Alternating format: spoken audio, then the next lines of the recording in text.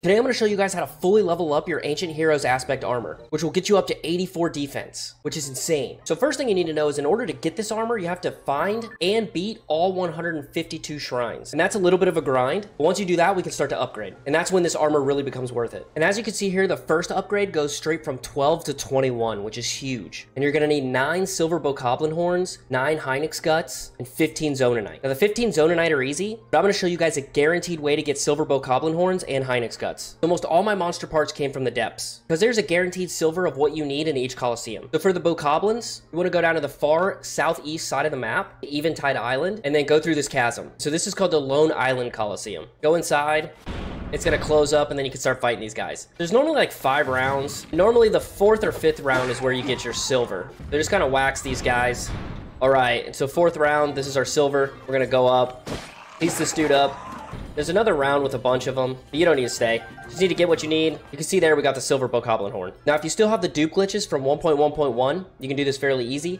There is a new dupe glitch in 1.1.2 that's not that bad. Or you can come down here, get a couple of silver bow bokoblin horns, wait for another blood moon, and then come back down. And that's how you would get your 9. Next up is the Hinox Guts. And for that, you can warp to this shrine, which is just south of Hyrule Field Skyview Tower, and then go in this chasm. And what you'll notice is that each of these shrines correspond to a Lightroot, and their names are just backwards. So if you need to navigate in the depths, go to a shrine, go down to the depths, and then place a pin there. And there's going to be a Lightroot there so you can travel that way. And so I marked it here on this map. This is where the Hinox is that I'm going for because it's in between these three Lightroots and I was able to navigate by using these three shrines. So I have it marked on my map and here he is sleeping and there's tons of these everywhere. You might already have what you need, but if not, there's a lot in the depths. But yeah, you can wax this guy, get what you need. Now, sometimes they won't drop what you need. And in that case, throw down a hard save before you even fight them. I think you have a better chance of getting the guts from a higher level Hinox, but you still should be able to get it from that one. Just hard save. If you don't get it, reload, fight him again. So for the second level, you see it goes from 21 to 36. You need 9 Silver Moblin Horns, 9 Frox Guts, and 10 Large Zonaite. Again, 10 Large Zonaite should be fine, and I'll show you how to get the Silver Moblin Horns and the Frox Guts. Okay, and for the Silver Moblin Horns, we're going to be doing the same thing. You want to go to Death Mountain and go in the chasm in the middle. And you can see here the Scorching Coliseum is northwest from that, but if you track it with the shrines, you should be able to light up this area just enough to see it and get to it. Once you get here, you're going to want to have your Flamebreaker armor on. Coliseum entrance is on this side, and the fourth wave is where you're going to get that Silver Moblin Horn. For the Frox, if you want to drop right on top of one, go to East Akkala Plains Chasm. Just warp to the Ulri Mountain Skyview Tower. Once you get up in the air, just dive straight down in there,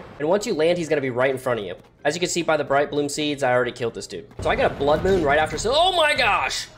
So I got a blood moon right after saying that, but here this bad boy is. The harder version of the Frox, or the blue-white Frox, be found in the southeast portion of the depths right here. So again, if you go with the corresponding shrine, go down to the depths, and then go three blocks over and one block down, and you should be able to find it. Okay, so for the third star, it goes from 36 to 54. Here you'll need 9 silver Lizalfos horns, 9 Molduga guts, and 15 large Zonaite. Obviously the Molduga guts are going to be in Gerudo Valley, but I'm going to show you where I found one. And the silver Lizalfos horns are going to be in the depths again. So the Molduga I found is right here in Toruma Dunes. You can see he's right here, and he's, I think he's mad at me. My six skateboarding moves. There he is. And just beat him up and take his guts. So the Lizalfos are located in this Coliseum right here. The closest Lightroot is south, and it's this one, but you can't go straight up to it. You have to go all the way around here. The easiest way I found is by marking a path on your map like this. Here, here, here, here, here, and then down to here. And then when you go into the depths, just follow each of those colors until you get to it. And again, fourth wave is when you'll get your silver. And as you can see, this is also in the southeast corner of the map. And now you can see the last level is 54 to 84. And this is going to give you the best defense in the game. And for this, you need 9 silver Lynel Saber Horns, 9 silver Lynel Mace Horns, and 9 Gleeok Guts. And I'm going to show you how to get those as well. That is nice. And for the Gleeok Guts, again, in the southeast corner of the map, there's this island right here. What I did was warp here, and then I got out my bike. And I started making my way there. And I know there's some in other locations, but this is a King Gleeok, and the fighting conditions are favorable. It's just you and him on an island. And there he is. Now kill him and take his guts. And then for those silver Lynels, we're going back to the depths, and this time to the floating Coliseum. So if you go to this chasm, mark this shrine, should be able to find it in the depths to light up this area. And then it's just about walking over to the floating Coliseum. Here's about where it is zoomed out. All right, we're right over top of it.